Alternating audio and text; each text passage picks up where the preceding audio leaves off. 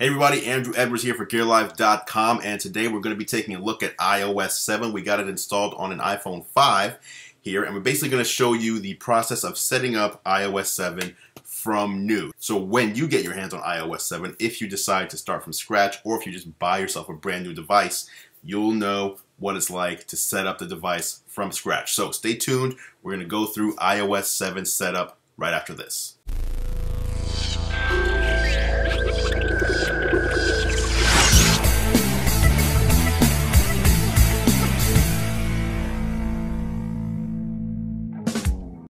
Alright guys, we just got finished installing iOS 7, which is obviously the massive redesign of Apple's mobile operating system. Here you see uh, the very first thing um, that you'll see if you update uh, fresh or if you buy a brand new iOS device. That's what you're going to see, similar to what uh, OS 10 used to look like. Okay, so let's uh, swipe on through. I believe we want to, there we go, swipe that way.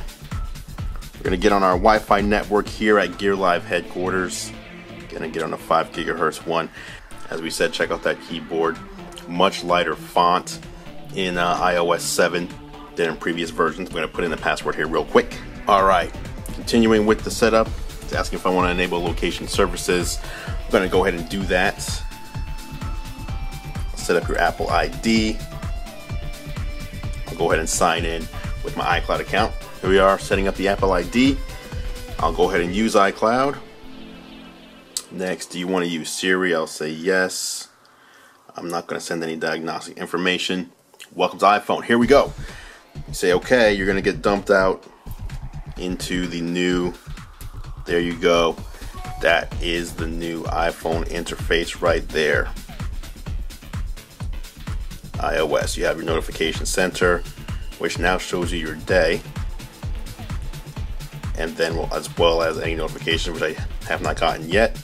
Now you can swipe from the bottom, control center, quick access to things like airplane mode, Wi-Fi, Bluetooth, night mode, um, orientation lock, volume, brightness, music, airdrop, airplay, flashlight.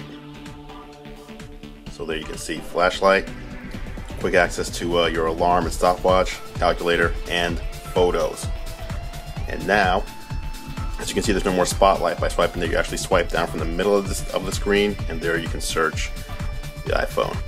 One other thing is iTunes Radio. You can go right into the music app and start listening to iTunes Radio. You log in. If you are an iTunes Match member, you get it ad free. If you're not an iTunes Match member, it's still free, but you do have advertisements there.